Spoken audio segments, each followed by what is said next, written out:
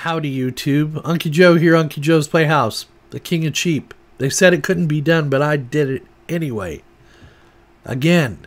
I've had a video like this before, haven't I? But really, they said it. Do they say it couldn't be done or shouldn't be done? Probably a combination of the two. Morton, I hope you're watching over at my Playhouse because I've done the impossible.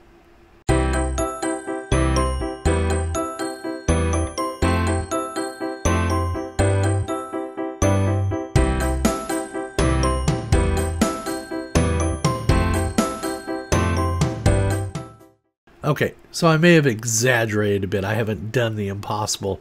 Morton over at my Playhouse just had a video on getting VMware 7 running on his uh, IBM 3650 Model 2. And he ran into some problems. And I thought, well, you know, it's I'm getting ready to start up my VMware lab again. And uh, I've got some older equipment in here. And, uh, you know, I want to make sure my stuff will run VMware 7 as well. So uh, I ran into some problems just like uh, Morton did. So let's get the video started and I'll show you what I what problems I ran into and what I did to overcome them.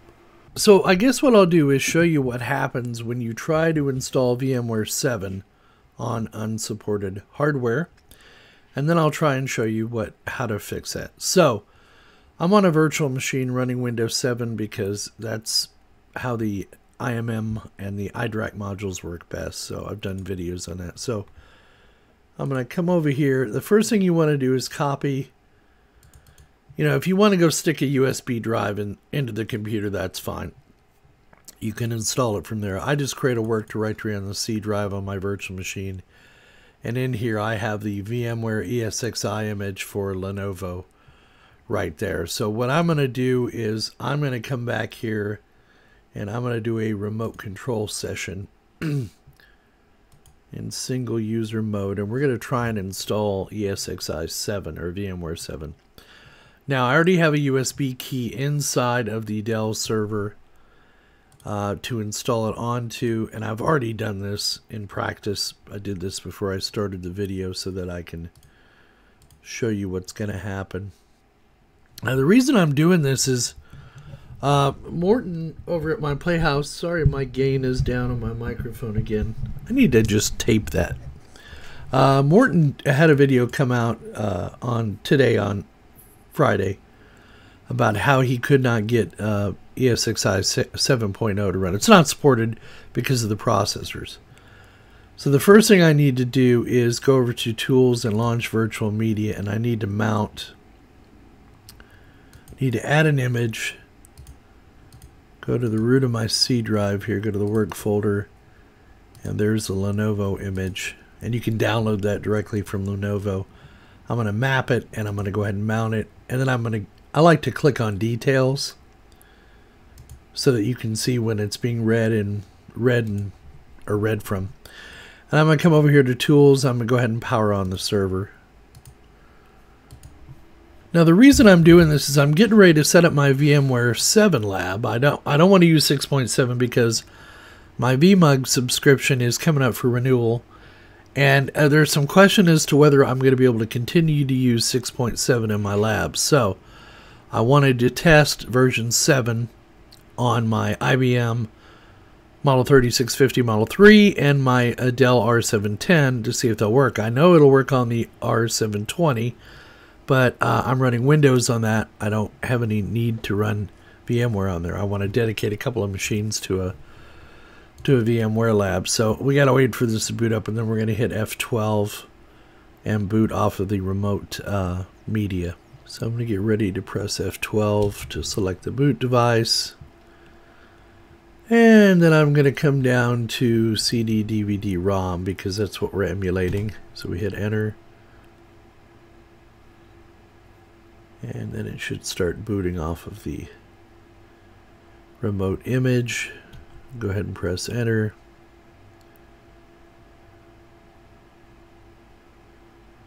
Now again just pretend I'm not at the customer site. Uh, pretend I am not there to put a USB key in uh, an installer USB key. I can do all this remotely. That's that's one of the benefits of having an enterprise level or grade server. You can't do this with off the shelf components. Well, you can, but by the time you buy the little card to go in there to give it uh, KVM capability, um, you know, you, you could have bought an enterprise level server, uh, you know, be, being pulled out of production. I mean, this is an 11 or 12 year old server. It's still to, just as powerful. It's not as power efficient, but it's as powerful as a modern server. I don't mind using old stuff. But, uh, you know, this is the kind of stuff that vendors do to keep you from using that old equipment. Um, Got to buy the latest and greatest equipment. And there's two things that are going to keep me from installing onto this IBM. One is the processors are not going to be supported with version 7 nor is the uh, Mellanox uh, card I have in here, the 10 gig networking card I have in here. Because you're going to see when it comes up, it's going to, it'll give us an error message here eventually. Let me move my face down into the corner. Yep, sorry, wrong one. Move my face further down to the corner and move this over here. There we go little bit more. So you see it identifies it as an IBM Model 3650 Model 3. And you see it's got an E got two E5620 CPUs in there.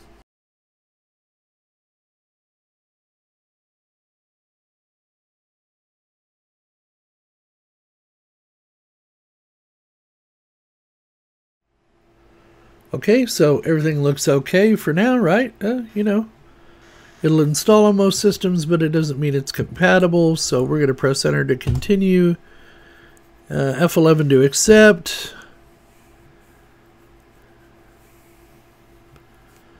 Now, like I said, I already have a USB key inside of this machine in the internal USB uh, connector. So I'm going to choose that one to install it on. Press enter.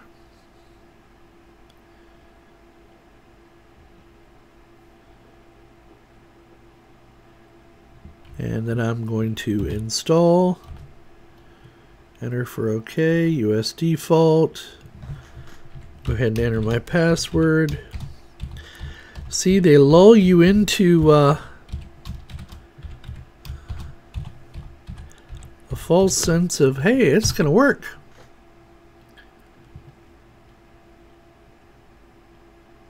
And there's the first of our problems. So, this is what you're going to see if you try to install it on these older units.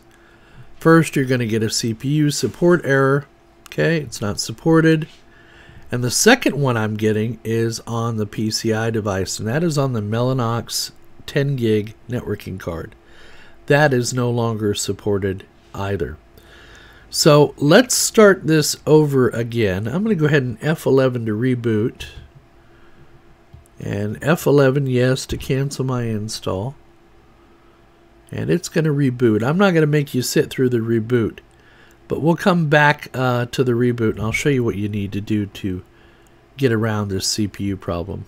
Alright, so we're here at the boot screen again. So we're going to go down and choose our CD, DVD, ROM. Now we need to be quick when it goes to boot. So press enter. And you're going to want to press Shift O. It'll even tell you on the screen here, Shift O to edit boot options. So down here on the bottom where it says boot option, it says run Weasel CD-ROM boot, that's fine. Put a space in there and you're going to uh, paste the following, or you're going to type the following command in there. And that command is going to be allow legacy CPU, and it is case sensitive, equals true. So allow legacy CPU equal true, and then hit enter. And then what will happen is VMware, the installer will continue to load, and we'll wait till it comes back to that other screen. I'm not going to have you sit here and go through all this. Uh, and it could take some time because uh, you know we're loading off of uh, shared media across the network. So let I'll let this come up to the next screen and then uh, we'll go from there. All right, so we're at the same screen we were at before, so we'll press enter here and F11 to accept and we're going to choose the SanDisk Cruzer Edge that is plugged inside of the server, so we'll hit enter. Now I've already installed it on there, so it's going to ask us whether we want to update or install, and I'm going to choose install. So I come down here, press the spacebar, press enter, and US default, and let's go ahead and enter our super secret password and make it a super secret password. You know, with some numbers and letters and symbols. Enter to continue. Now this is where it failed before. And looky there. Mm-mm-mm. Found during system scan. The CPU in this host is not supported by ESXi 7. Please refer to the whatchamacallit enter to continue. But looky there. Even though we got the warning message, it's asking me if I want to confirm the install. So let's do F11. Let's see what happens. Oh my goodness, it's working. Okay, I'm going to let this install. We'll come back when the uh, when something exciting happens or changes, and let's see if we're we continue to be successful. All right, so now uh, the install is completed, so it tells us to uh, eject or remove the installation media. So I'm going to go ahead and exit up here, and I'm going to press enter to reboot. And then we should shut down and reboot and all should be well with the world. So I'm not going to make you sit here and watch this. We'll let it reboot and then we'll come back up when it gets to the interesting stuff. As you can see, it's shutting down. It sees our E5620 processors and now it's going into reboot. So we'll come back when, uh, when it starts to boot up. Now I've gone into the BIOS ages ago and told it boot off the internal USB first because I also had Windows Server installed on here. This is one we did a, a dual boot on before. And you can't really put Windows Server on a USB key like you can ESXi. So here we go. VMware Hypervisor booting in 5, 4, 3, 2, 1. And here we go. So, wow. Booting, booting, booting. Watch that server booting.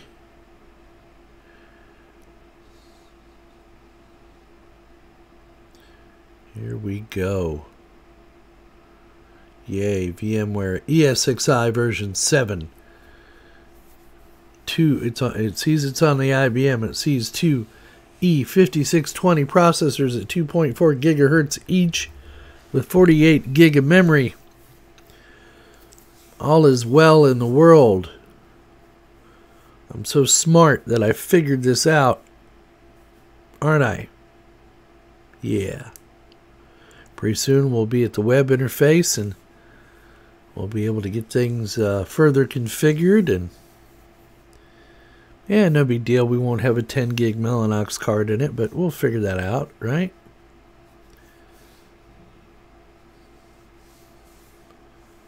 NFS client. I don't use iSCSI shares. I use NFS shares, so it's good that that's loading. FAT, vFlash, migrate loaded.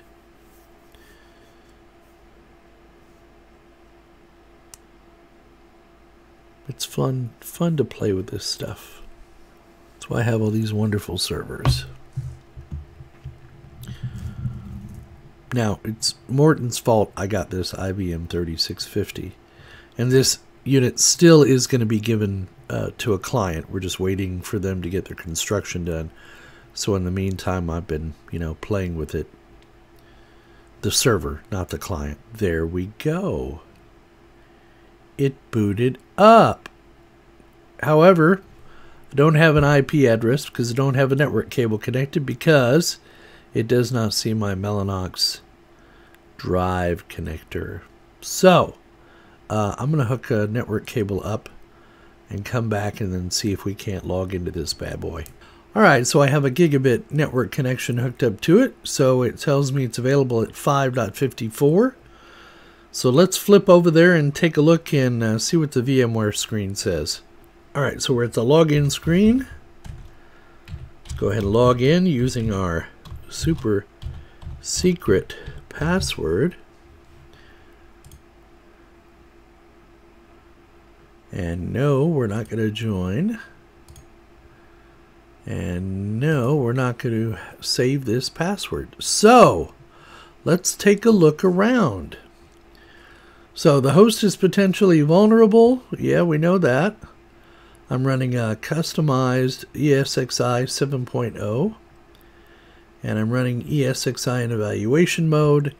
And the license will expire in 60 days. So, let's go ahead and close those error messages and let's get in the meat of things. So it sees it as an IBM X3650 Model 3, so it's all good there. It sees my two CPUs uh, and counts them as a total of 16 logical processors, two sockets, four cores per socket plus hyperthreading. Memory is 48 gig, SGX, have no idea what that is. So it does not see my Mellanox uh, network card, but it does look like everything else is working. Uh, the image profile, the date and time on the host uh, are not correct. Uh, the date is, but the time, well, yeah, the time is not. It is not, well, it might be UTC time, might be correct, uh, but it is actually 2.48 p.m. So, um, let's go to managed. Let's go to hardware. And it does see the, uh, one of the other issues with uh, ESXi 7 was it also deprecated some network cards, but it looks like it's seen my QLogic cards just fine. Now it sees my Mellanox 10 gig uh, SFP Plus card, but uh, it's not working. It, it, doesn't see it under. It doesn't see it under VMware. Let's go looking. No, it doesn't see it under. So it's not loading the drivers for it under under VMware, but it does see it as a device. So worst case, I could pass it through. If all I have to do is buy a new network card, a 10 gig network card for this server, I consider myself lucky. Uh, and everything else, it seems to have identified uh, it even sees the uh, uh, server RAID controller, even though we're not using it. Now, keep in mind when I do my virtual machine storage, I do it on the uh, Synology flash station using either NFS or iSCSI shares. I don't depend on local storage. That's not what I get these servers for. So, other than that, it looks like a winner winner chicken dinner. Alright, so we've gone through a reboot and no runs, no drips, no errors. Now the reason I did this is because the article that I read, and I'll share that article with you, I'll put links in the in the uh, section down below in the description, said that you would every time you reboot your server, you would need to press the Shift O and put that command into the kernel, or go out and edit the uh, boot.cfg file. So for whatever reason, it's not making me do that. Now the next thing I want to do is I want to go ahead and add a data store. And we'll call it Erebor. And it is 192.168.5.17. And that is forward slash volume 1 forward slash NFS lab. Let me verify that name again. NFS lab dash ESXi. Click on next, click on finish, and there it is. Now it shows the drive type is unknown. Let's see if we can go browse the data store. should have some ISOs under there. I do. So uh, let's uh, go one step further and let's see if I can create a server on here. we'll just do a quick one. So we'll do create register VM. Bear with me a second. Create new virtual machine. Uh, sent OS 7.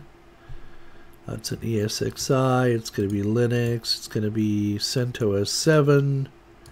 Next, uh, we're going to use Erebor storage. Uh, we're going to give it a, let's give it four CPUs and yeah, that's fine. Two gig of RAM and let's give it a 30 gigabyte hard drive. And that should be thin provisioned, yes.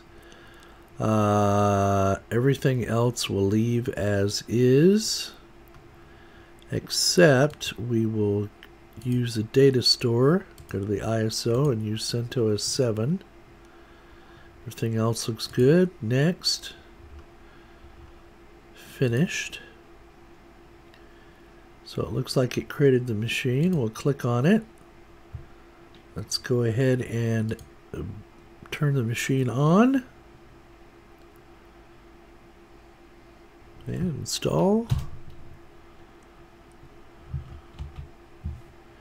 Oops, sorry.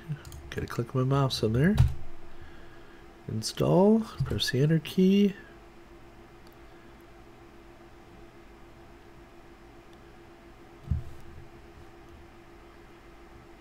There it goes. Booting up.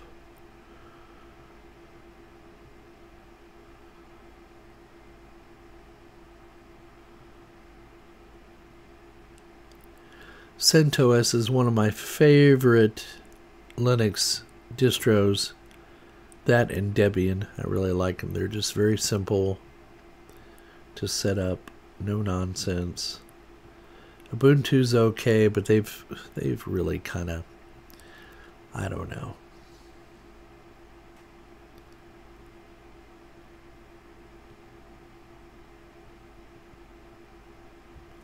I just don't know. Oh, look, it even gave us the graphic installer. Oh, so let's see here. See if I can't make the screen a bit bigger. Alright, automatic partitioning selected. So that is fine. We'll click on done. Uh, we'll do uh, Chicago as the time zone. Let's see, do we have an option to do network? We'll turn that on. We'll let it get an IP address. Uh, it's getting 5.55. That's fine. We'll click on done.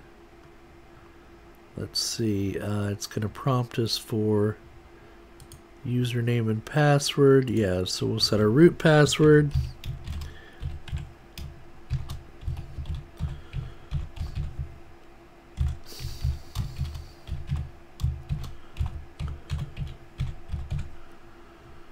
Click on done.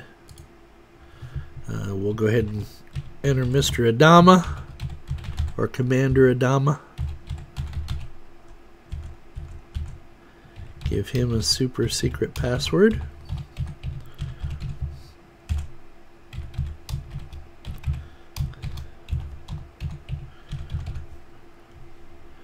Click on done and uh, we'll, we'll let it finish installing it's pretty much hands off it from now.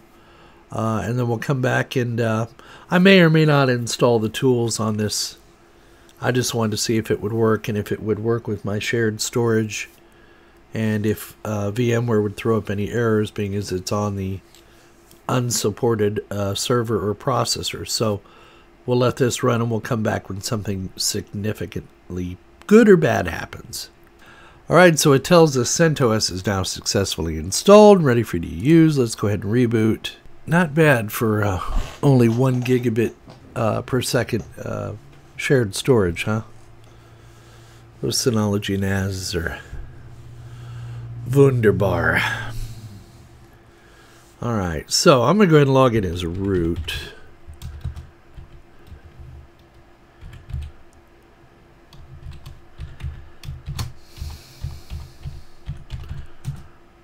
Anyway, it's installed. The tools are not installed. So if I come back here to CentOS 7, actually let me get this out of the way. And yeah, you'll see the VMware tools are not installed. I could install them. It does see, let's see, just want to make sure it sees everything. Monitoring looks good. Okay, so we've created our first virtual machine. Granted, we haven't installed the VMware tools, but it's something for an advanced thing. It looks like VMware 7 is running fine, even on this unsupported hardware. So, I would say it's a success. So, uh, yeah, let me close it, except the cookie. So, I have to give credit where credit is due. And the author of this article, William Lamb, uh, is walked me through this. And um, you can see right here where he says, you know, shift plus zero. And this is the command that you type and allow legacy to be true. And he, he puts some links to some other interesting and crazy workarounds. Now, it says the boot option above is only temporary, and you will need to pass in this option each restart. But it doesn't appear to be affecting me. Now, I've also done this on the Dell, so I'm going to go ahead and reboot the Dell R710 a couple of times and uh, make sure it's functional on there as well. And I'll include a link to this article down in the uh, description on, uh, for the video so you can go look at it yourself and so you can click on this one interesting and crazy workarounds because there's a lot of people out there a lot more knowledgeable than I am that have uh, that have done some stuff. But uh, there you go. Now let's be clear about something. This is in no way supported by uh, VMware, and I would I would never do this in a production environment. Only use this in a lab environment. It's just a way to kind of stretch your hardware out to get a little more life out of it. In fact, you see that box right here that I'm pointing to? That came in, ooh, it's dusty. That came in via FedEx today. And that is going to be a machine I can actually run VMware 7 on natively without having any trouble. And you'll have to stay tuned to see what that video is all about. But yeah, um, if you're running in a lab environment, you should be okay. And time will tell. Uh, now, the other thing is I'm a member of the VM users group, and I'm an advanced member. So I pay about 200 a month and and you get licenses for ESXi and for vCenter and for a couple other products. My question to them was, say I have some of this older equipment and I want to keep running ESXi 6.7 on it, and then I want to slowly introduce VMware 7 into my lab on, on new machines. Can I use both licenses with the key that you're going to send me? So I'm waiting to hear back from uh, VMUG users group on whether whether that is uh, okay with them or whether that's allowed or not. Because if not, then I'm going to have to, you know, I'm going to have to use this workaround on some of my older equipment to get a lab up and running because I'll be, you know, I should probably be replacing those Dell R710s with something a little more oomphy. But uh, I've, I've got one here in that box that I'm replacing it with, so we'll see how that goes. And keep in mind, when I use these enterprise level machines, I really don't use them for their storage. I use them for their virtualization, for the fact that I can cram a whole shitload of RAM in there. Uh, and uh, I have the iDRAC controller on them, so I can remotely control them. Um, but as far as storage, you know, hell, I use the Synology NAS as why not? Uh, so there you go. So I encourage you to go over to my Playhouse and watch Morton's video where he tried to get ESXi 7 running on a model uh, 3650 model 2 even after putting some he he got a hold of some CPUs that are uh, what's the word uh, not known uh, to be uh, regular uh, CPUs and he was hoping those would work. And I think with this fix I would like to see him try this fix that I just did see if you can get it to run on that older Model 3650 Model 2. That'd be kind of fun and interesting to see. But if nothing else, go over and check out that video because he also put an NVMe drive uh, into that unit as well so that he could have a, a data store on it. Uh, me, like I said, I'm using shared storage. I've gone all in on it. Uh, and, uh, you know, if this continues to work, I'll find another 10 gig card. I've got a couple out there that I'm looking at right now that can run SFP Plus connections. But uh, yeah, please go check out Morton's video at my Playhouse. and uh, uh, see see how he did with his uh, 3650 Model 2. So there you go, YouTube. We hope you found the video entertaining and informative. Please leave us a like, thumbs up down below. Leave your comments in the comments section. What do you think? Is it worth the time and effort? Uh, you know, I told you I wanted to do a, a new VMware lab, and, and that's my goal. That's what I'm going to do. I want to be playing around with a lot of stuff. Uh, yeah, donate if you're so inclined. PayPal, Patreon, your generous donations help keep this channel going uh, so we can get more stuff in here like this and uh, play around with it and make it work and make make good make fun videos for you guys so and I all of you that do contribute I appreciate it I hate to make it sound like I'm begging for money but I have to remind people all the time and if you can't afford to donate in these times please I completely understand uh, look, I support a bunch of YouTubers as well, but I can't support them all. So you have to pick and choose. And hopefully, I'm one of the ones you choose. And if not, no hard feelings. I just want you to subscribe, hit that notification bell, and come back and see us again. And please don't ever forget, we'll see all of you on the other side.